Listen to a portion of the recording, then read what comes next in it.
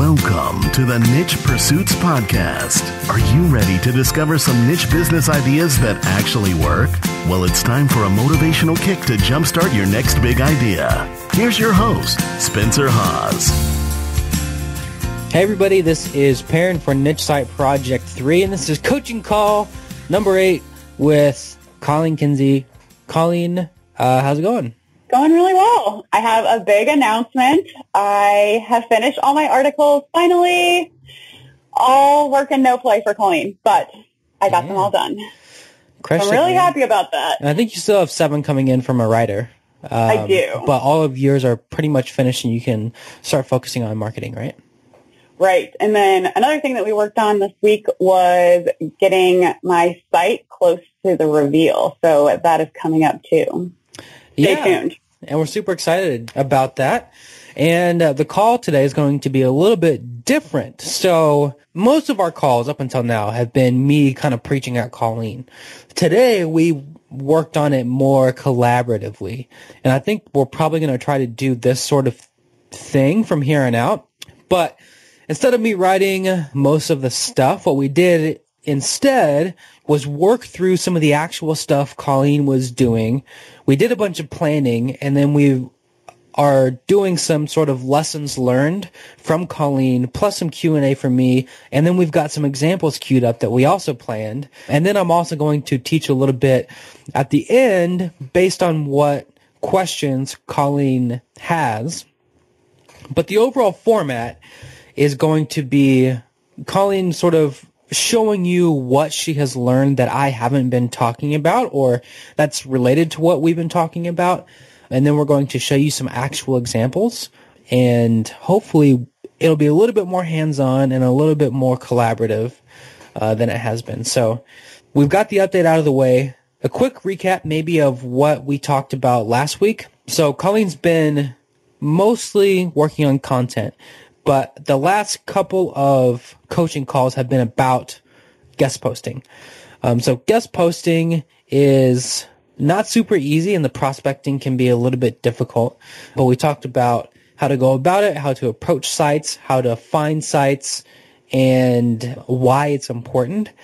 Colleen has had a chance to do a little bit of work already, and she's had some successes, but she's also hit a few snags. So we're going to talk about that, and we're going to see what Colleen has to teach you, and then I'm going to jump in and see what I can teach you and Colleen based on what we're going to talk about. So overall, it should be pretty fun. So I guess we can probably get started, right? Yeah. I know we we've been sort of playing with the structure of this call, Colleen, so we can switch back and forth between these lessons and examples if you have them, or we can do all the examples at the end, whatever you think works best, uh, sort of on the fly. But we've got some good examples and some good stuff to talk about, so we can play it by ear. All right. Let's do it. Okay. So I definitely had some lessons learned these past couple days. After I finished all my content, I started working on guest posting. And I definitely hit some snags and kind of found myself running in circles a little bit. So one of the things that I learned was to have a plan. I really like to just jump in headfirst to things and I kind of learned my lesson on this because I needed to apply organization. So one of the things I wanted to show you was this spreadsheet that I made.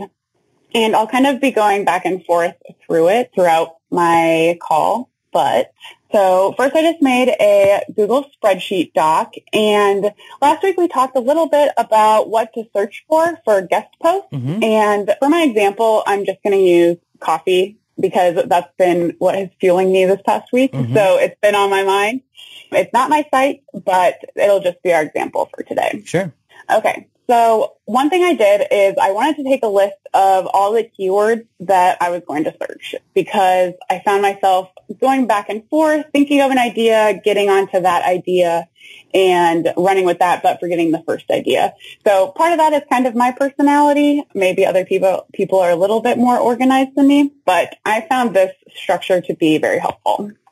So And you can see all of the queries that we talked about here. And one of the things that we also found this week was going for more general queries to find guest posts instead of more specific queries. And in particular, we started removing operators like in URL and in title because the thing with guest posts is sometimes the guest post just, I mean, the words guest post won't be included in the URL or the title. So it'll be maybe in an introduction or in a footer or something. So we made that move too, and you can see that reflected in these queries. Yeah, I definitely found that the in URL, while it was helpful to find exact matches, sometimes it was a little bit too restrictive. Yep. Okay, so starting out with a nice little spreadsheet. So, and, and oh, yep, go ahead. correct, correct me if I'm wrong, but the actual spreadsheet you're using for guest posting, maybe you can just fill in some of the columns that you're using, like to to keep track of the actual opportunities you're finding. So we've got here we go, right there, yeah. So this is and stop me if this is something that you were going to talk about later, but I think it fits nicely under this idea of organization. So what is all this stuff? What are you looking at and why did you pick these columns?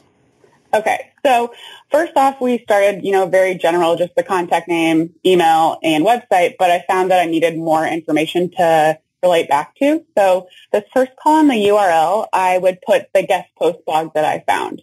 And then in column B, I would put just the exact blog. So for example, one of them I have is, oh, not that, eat, eat naked now. So it would just mm-hmm. be eatnakednow.com. And so then I would, if I had found a contact name to do the guest post, I would put their last name and their first name here and then their email address. Yep. And I don't know if you want to talk a little bit about the email address because we went back and forth on this too. Um, We'll so probably talk about that later. What that? Okay. When, That's fine. talk about finding contact information. So, but yeah, good Perfect. point. Yeah. And then I would put the DA of the blog because we were kind of looking for around 30 or higher, right? hmm And then after looking at their site, I would kind of generate a personalized sentence that I would say to them. So maybe something about their site, maybe something about an article that the editor had written or the person that I'm contacting had written. And then I would give my pitch ideas, which I will talk a little bit about later. And I also wanted to put a column for contact forms because that was something I ran into if whether to do contact forms on websites or not, or just going for their exact email address. Sure. So we talked about this a little bit when we were working through this this week, but what's the benefit of recording all of this stuff now? So I guess I'll let you say that, but before I let you chime in, I guess I can say that one of the benefits of recording all this stuff now and on a spreadsheet is that with most of the outreach tools you can use, aside from some of the ones where you have to input stuff individually, you can upload a spreadsheet using columns as fields. So this is the case in stuff like BuzzStream. And I think some of the other ones like Ninja Outreach. Um, BuzzStream was only like $19 a month. So if we do want to go that route and spend $19 to do one round of outreach, we'll have the spreadsheet ready and we'll have the fields ready to use. But other than that, why are we recording all of this stuff right now? Well, personally for me, I think it's easier to stay focused on one thing, collecting all the information, and then when I switch gears to actually contacting them, then I can just run through it. Yep, totally. So if we're thinking about sending an email and we're using something like Yesware, we might write an email that says, you know, that has like a short introduction and then we could put in a field for a personalized sentence and then we might write another sentence and then we could put in a field for pitch idea one, pitch idea two, pitch idea three. So we don't have to rewrite that stuff every time. We don't have to go back and look at every single blog. We've already got it in the spreadsheet. And by just filling in those fields in something like Yesware or BuzzStream, it makes it about a million times faster because we've already looked at them and we've recorded the data. So overall, I think it's really important for people to see how exactly we are organizing it. It's obviously not the only way, but we think we've done a pretty good darn job of being efficient about it and being organized. Yes, absolutely. And I like color coding, so Oh, blue yeah. is complete or red is delete, Totally. but then I still have it marked down. yep. All right. So another thing that I found is not every site is going to be great for guest posting. So at the beginning when I was starting this strategy, I was trying to find everything under the sun. So, for example, I would search for coffee guest post by. Mm-hmm. And I would look for everything that would equivalent to that and then try to tailor my pitches to that website. And Perrin kind of talked me down from that and told me, you know, a lot of this stuff isn't exactly relevant to what you're writing about. So an example that I found is this Star Wars website. So yes, it says coffee with, but is it actually about coffee? Right. No, it's about Star Wars. So maybe not the best for my site and probably to move on. Sure, so yeah, but I think there's a little gray area here and I think it's a really important thing to cover. So you certainly don't want to pitch a coffee guest post on a Star Wars blog that happens to have coffee in the name. That's way too far off. However, if there is some overlap, so maybe there is a yoga blog that you find that has published more than a couple posts on coffee because that blogger happens to like coffee, it certainly is feasible to pitch that yoga blog a really great idea about coffee and yoga. So like maybe health benefits of coffee before you do a yoga routine in the morning. That would be a really reasonable guest pitch. So you might find those sorts of opportunities and you just have to make a call. You don't want to pitch the Star Wars blog on your coffee recipe because it's just not going to work and it's not worth your time. But right. there might be a pattern where a site doesn't look to look like it's on your exact topic, but they like to publish stuff on your topic. And if you can find a little bit of overlap, it might be worth pitching. And that's also why it pays to record all the stuff in a spreadsheet while you're doing your research because you can make a little note and you can write a pitch as you're looking at the site instead of going back. So I totally agree. And we had to make a move away from some of the stuff that Colleen was finding. But there is some gray area and there might be some hidden opportunities. Uh, and the lesson really is just you have to look at the sites. Yeah, and I think another thing is in that gray area, knowing how gray to get to. Like, how long are you really going to search to see if that site can be relevant for your mm-hmm. site? That's another issue that I ran into yep. was putting a deadline on how long to look at one site. For sure. And we're going to talk about that a little bit too.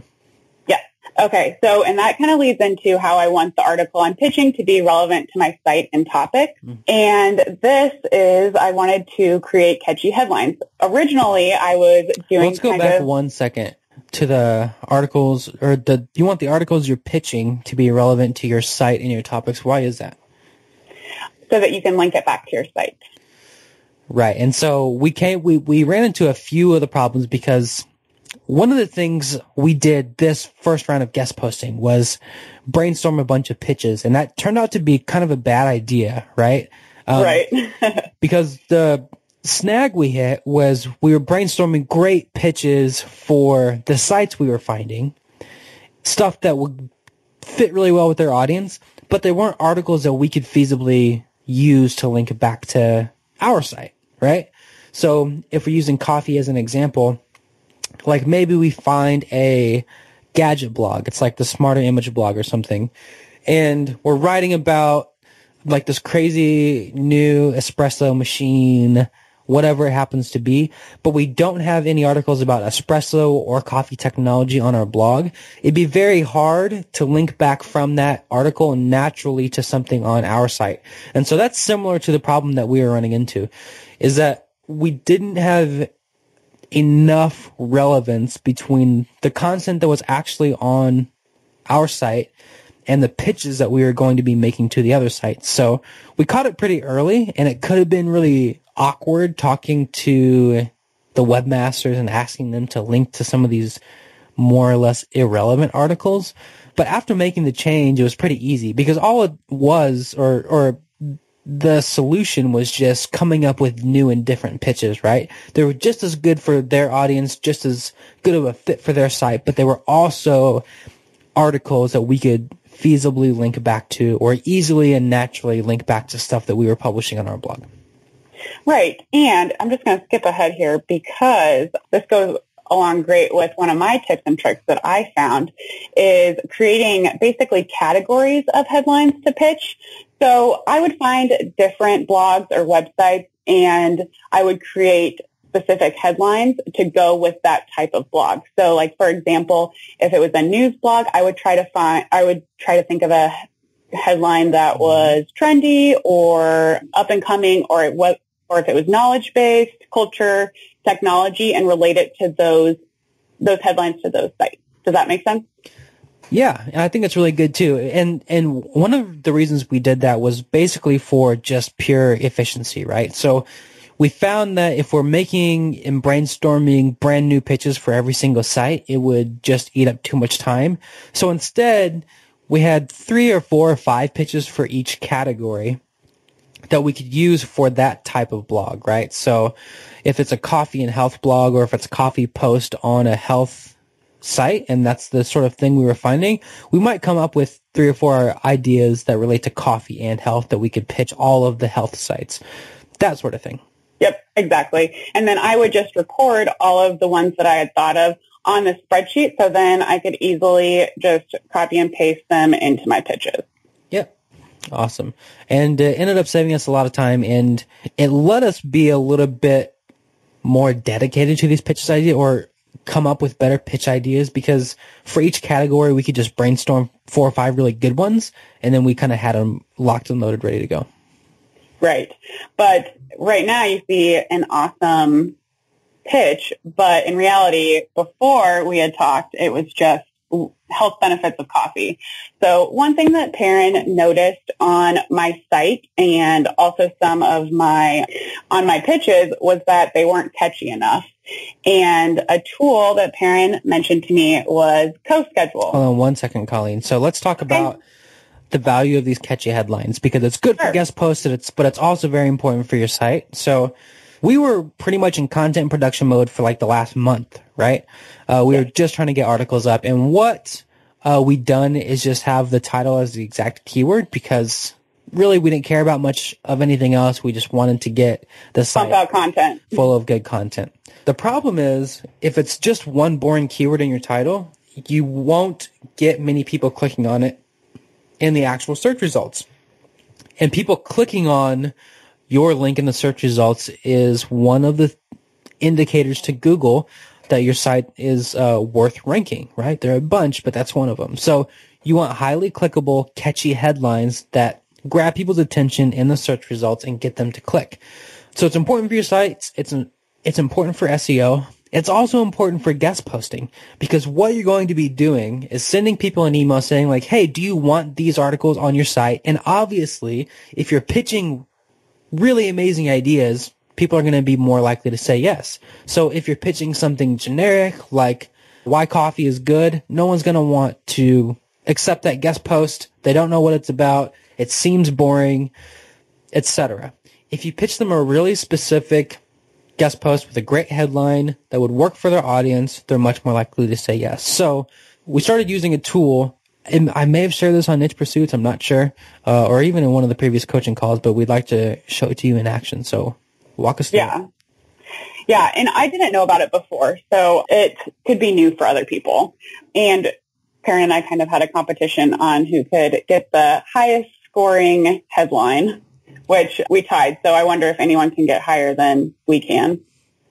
But so for example, what are the amazing health benefits of coffee? So probably before that I had So what what is this tool generally, first of all?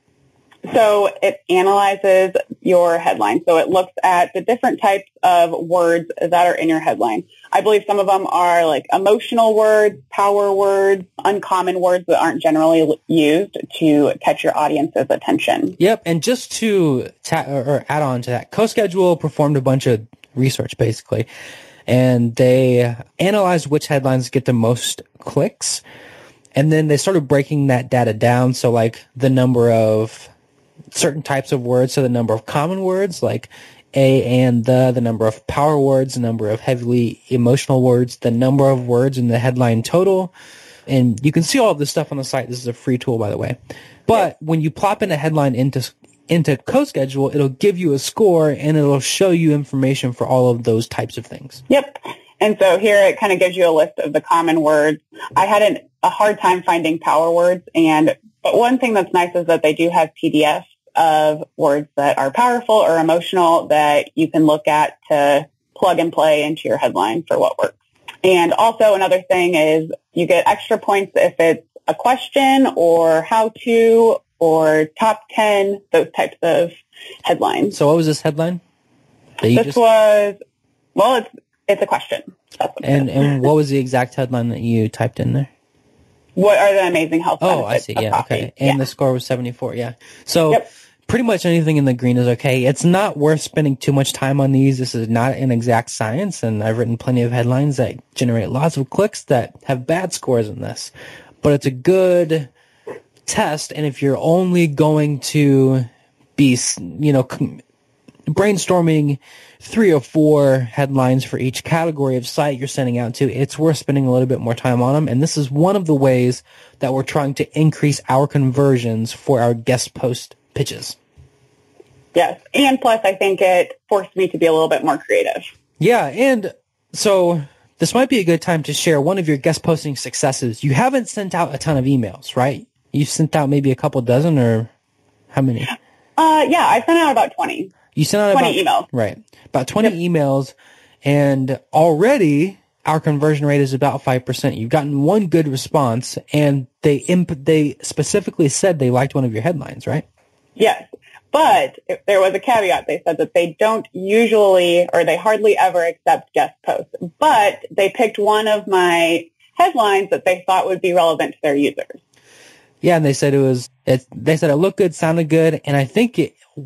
We don't know if they're saying that they don't accept it, or they don't normally accept guest posts, but ours sounds awesome, or they don't normally accept guest posts, but we can try anyway. like we don't know, Yeah. but Stay tuned. um, but it it seems like they're asking us to write that article, asking you to write that article. Um, so so far the conversion rate is about five percent. We've only sent 20 emails, which is um, a really good conversion rate when you're doing outreach. So hopefully they will accept it and we can get even a couple more. So what's what's your next lesson for us? my next lesson. Talked about that. And my next is method for finding what I think are good sites to guest post on. So one of the ways that Perrin taught me, um, we talked about plugging in the keywords and guest post by or what have you. And so then just looking through at the DAs and taking a look and seeing what looks relevant. Mm-hmm. And so here are those two that I just showed you. And I already have this one up. And one of the really easy things is if it's a guest post and then they have a different person, so an editor that's posting the article for the guest poster. Mhm. So that makes it a lot easier to find someone to contact. So when I find those, I'm very excited and put them in my sheet ASAP. Yep. I feel like those are easier targets. Right. This is one of the things we talked about uh, briefly in some of our other coaching calls, but we haven't shown it to you yet. And it's it's probably one of the easiest ways to find the best person to contact. So if you find a guest post that was posted by an editor, that's probably one of the best people you can possibly contact because you know they have control over what is posted on the site. You have their name and you can reference some of the guest posts that they've already posted, and you know what they kind of like to post too. Um, so for this one, you could say like, "Hey, Margaret, I saw you did this guest post by Craig. Uh, I really loved it. I thought I could add to the conversation. What do you think about these ideas?" And that person who's already been publishing guest posts on similar topics probably has a really high chance of saying yes. Right. Or one thing that I've been doing is looking at articles that that editor has written and then directly complimenting on one of their articles and relating it to my pitches. which is super super good idea. Um, I've even complimented people on their like pets and stuff before. But if you find some of that stuff, you would just put it maybe in your personalized sentence in your uh, spreadsheet. Right. This guy right here. Yep. So you would say, "Hey, Margaret, love the article you wrote on blah blah blah" or whatever it is. Yep. So that's Um, uh, and I, maybe let's talk about a few of the other methods um, Sure. for finding good guest posts. We were originally trying to find super high DA stuff, but we kind of pivoted to finding more opportunities, even though we have a rather high cutoff point of around DA 30. We also know that we're a new site and we want to get as many links as we can, however we can. Of course, the ones with um, the the sites with really high DA are going to move the needle most, but we want to just start the links coming in. So we're also looking at some lower DA stuff. Also, we're currently looking for those higher quality leads using the guest post by to find active sites that are publishing guest posts that may not have a write for us page, may not be advertising guest posts, but I think we might also look for some write for us pages if this round of guest posting doesn't yield many results. Um, so we have a certain methodology, but we're also kind of tweaking it as we go. Right, exactly. It's not set in stone. Figuring it out on our way. Well, Perrin, you probably already know the way, but I'm figuring it out on my way. well, kind of. I mean, the thing about building links is that it's not at all paint by number, and uh, you fail a lot. That's that's why, and we say this and giggle about it privately. Um, link building is what separates the women from the boys, right? This is the this is the hard part. It's different in every market. It's different for every site. It's different for every piece of content you're trying to build links to. Um, so it is not easy, and one of the things that makes it hard is that it's it's fluid, and you have to adapt, and you have to be prepared to fail. It's very possible that the, that this round of guest posting might yield one link or two links, right?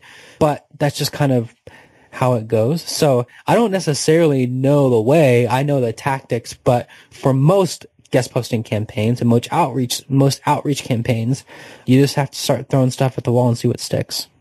Do you feel like different strategies work for different topics or different genres of blogs?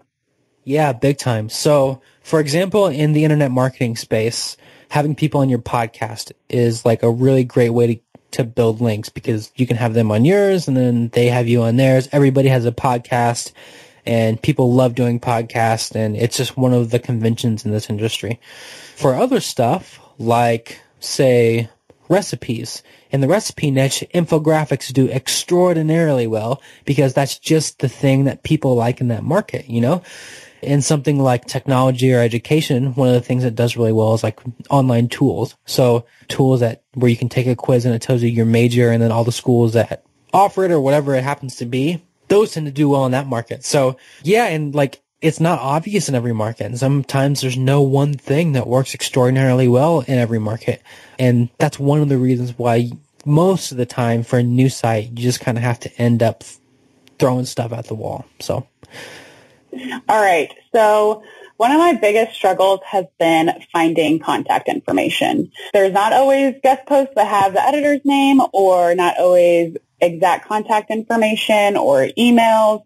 And that's kind of been where I've hit the wall, I think. So throwing this one back at you, Perrin.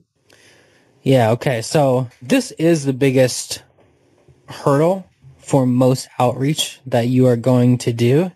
It's certainly the thing that takes the most time. So it's easy to find sites that you want links on.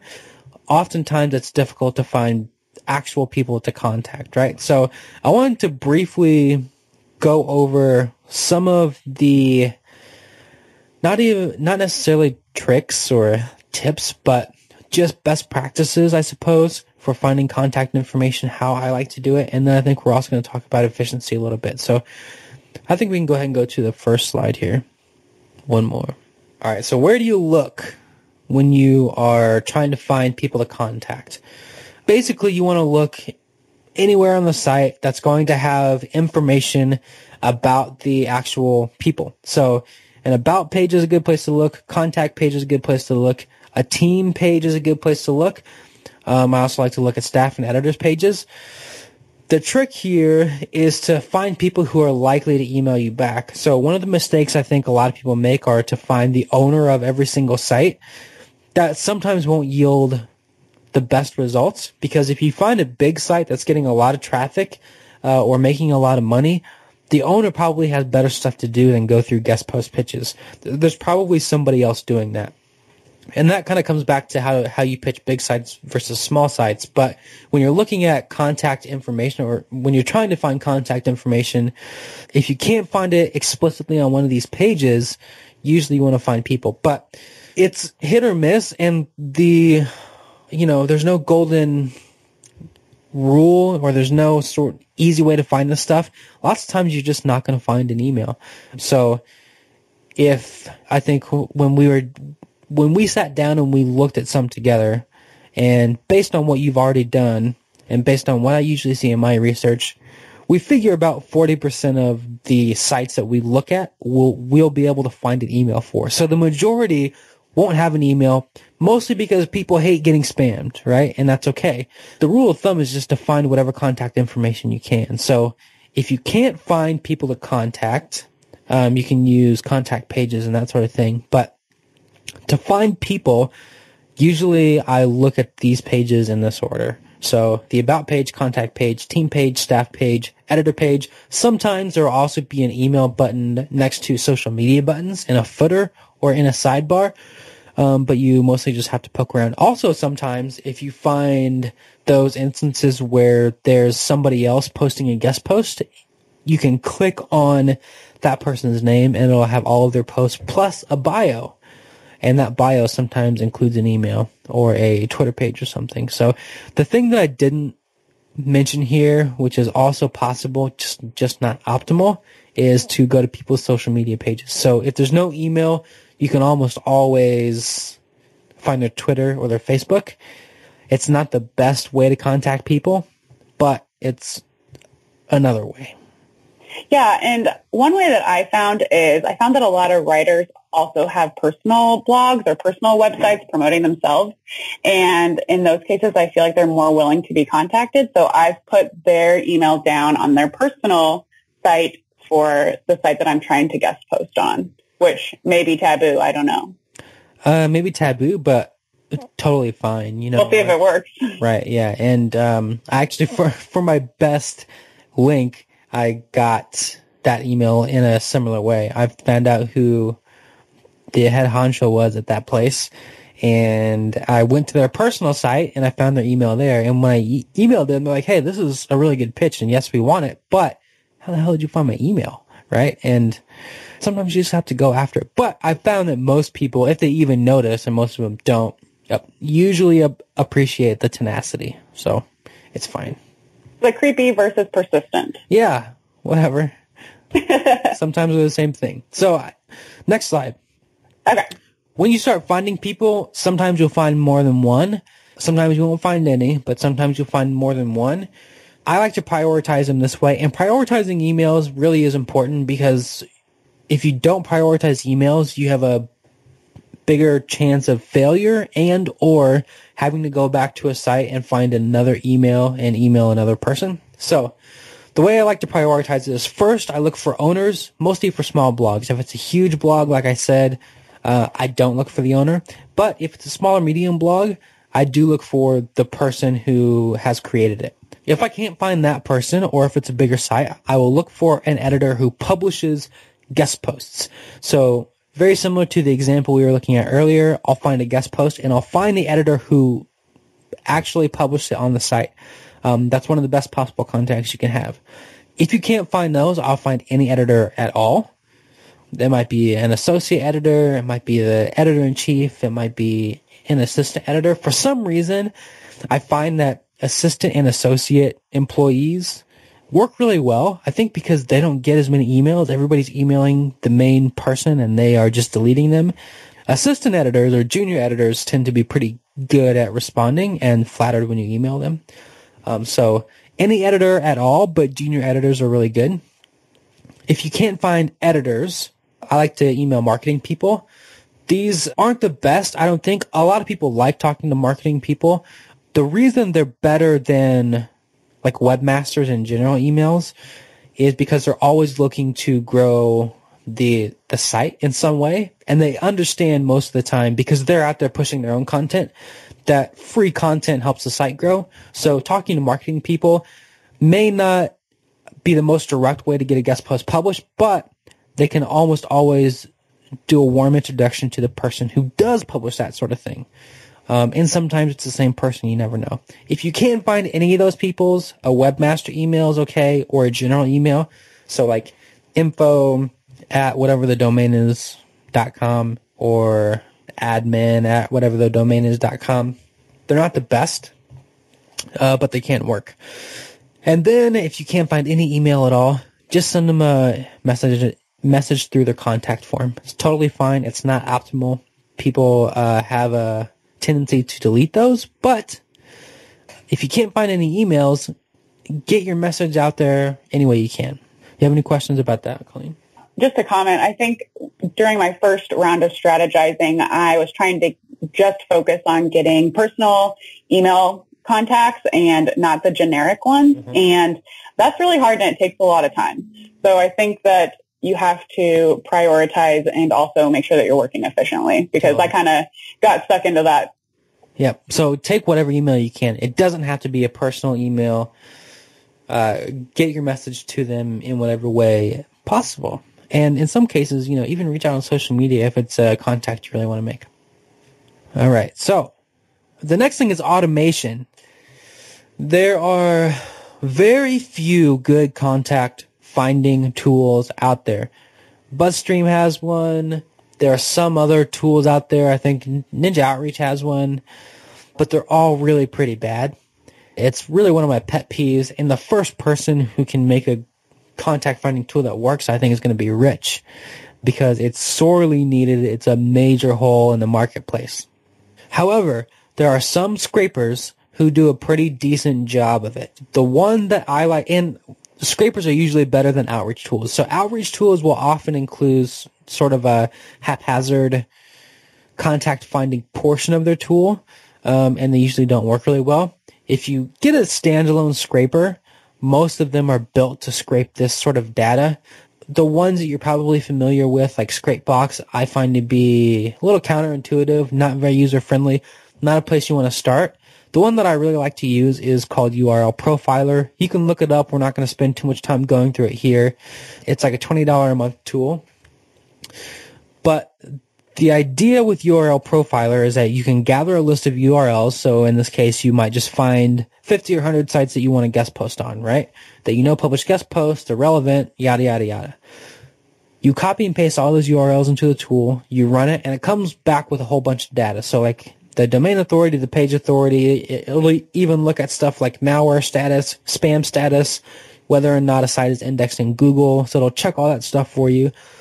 But it also scrapes emails. So it'll show you all of the emails it finds on contact pages, all of the emails it finds on about pages, and all the emails it finds on Write for Us pages. In addition, it'll show you contact page URLs. So after you run all these URLs through URL Profiler, you can just kind of sort by whether or not there's an email in on on the contact page or whatever. And look at all those emails, see if they seem like real ones or ones that you want to use. And then if you don't, you already have the contact page URLs anyway. You don't need to do it. If you're just starting, I would say do it by hand.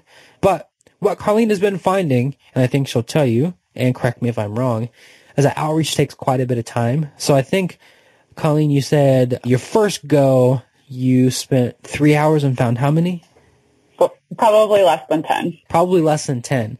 Yeah, um, so I was very frustrated because yeah. I thought it would be easier. Yeah, and that's why this part of SEO is uh, what can make or break a site because nobody wants to spend that time. Uh, I did a round of outreach for my site, and I think I found 120 contacts in maybe eight hours or nine hours, uh, maybe even 10 hours, I don't know, over the weekend. And I was doing them by hand because they were really kind of high end contacts I was trying to find.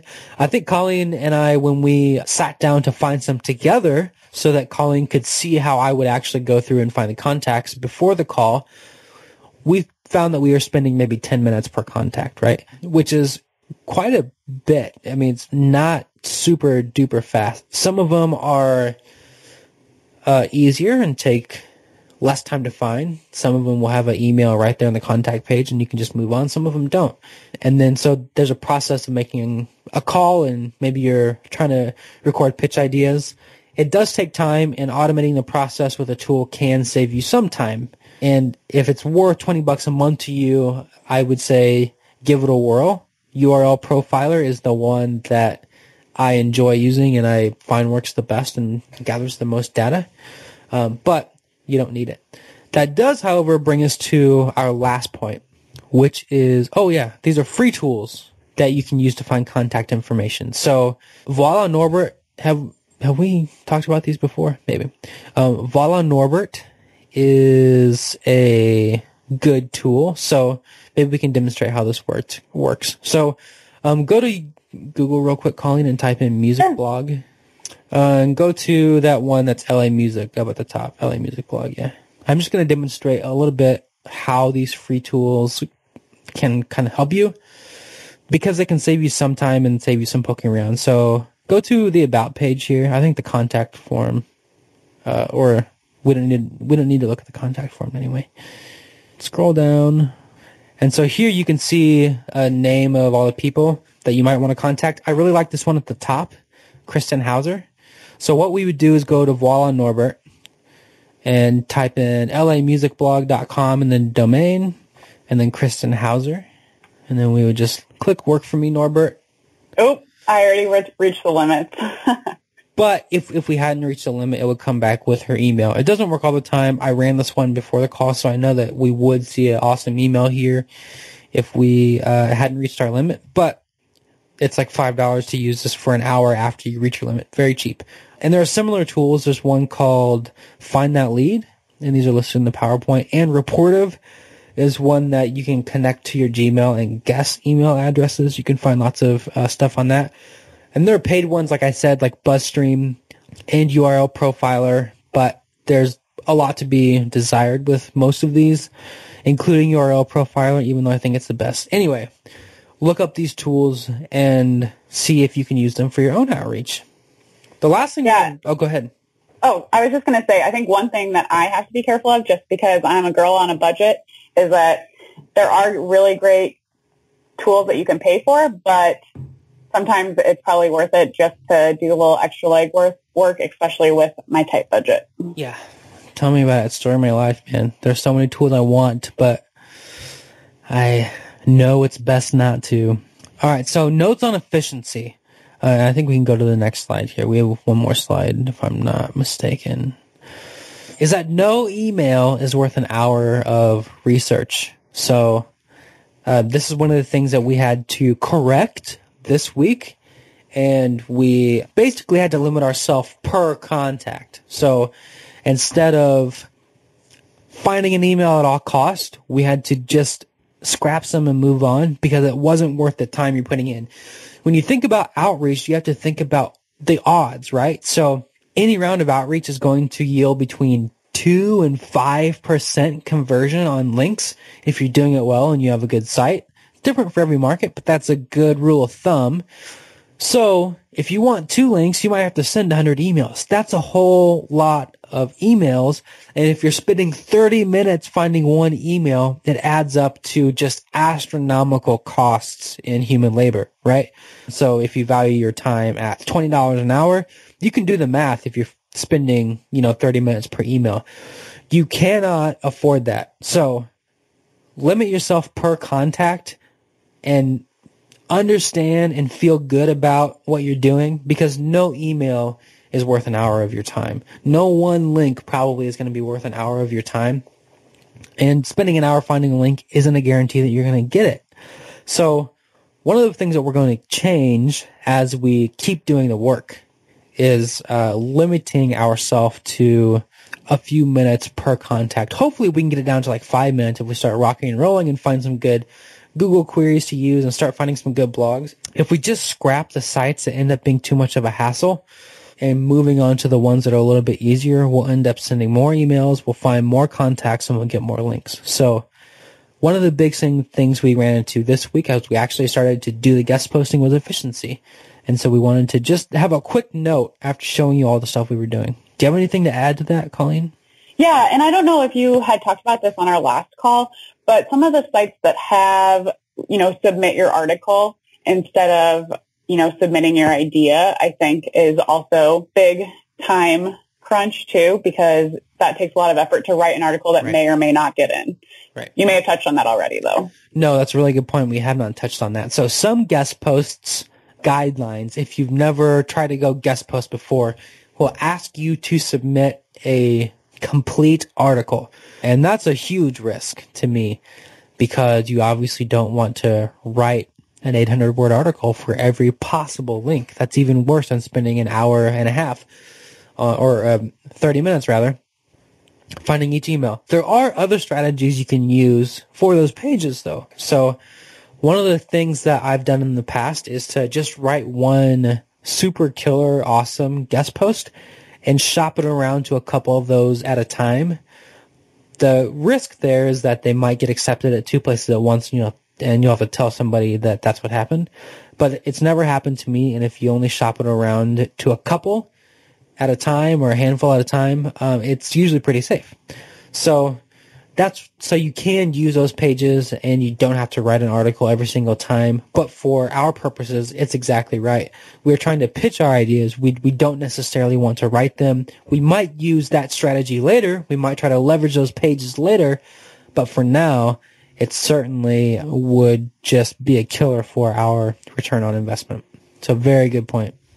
Cool. So what's my homework to continue getting more guest posts or do you have something else up your sleeve? Well, you've sent 20, so I think we should try to send 100 and try to get Yeah. one or two links. Um, and, or send 50 and then try to uh, write for the blogs of the friends that you'd contacted before. So we know we had five or 10 people that we could potentially write blog posts for. I would say try to finish those too. Awesome. Sounds like a plan. All right. Well, thanks so much, guys. We're excited. And then I think maybe after we get one or two links, it might be okay to share the site. We're scared. I don't know why. It's probably not a big deal, but it's always scary to share a site for some reason. Yeah, I'm nervous about it. I think it looks awesome though. We did a lot of design stuff to get it ready to be shown. I think it looks really killer. Um, so hopefully we can show it next week maybe. I think when we start getting a few links and we've got all the content up, then it should be fine. But for now, it remains a mystery. Anyway, thanks so much. Awesome work, Colleen. Thanks for tuning in. Let us know if you like this format in the comments, and we will probably talk to you guys later. Bye.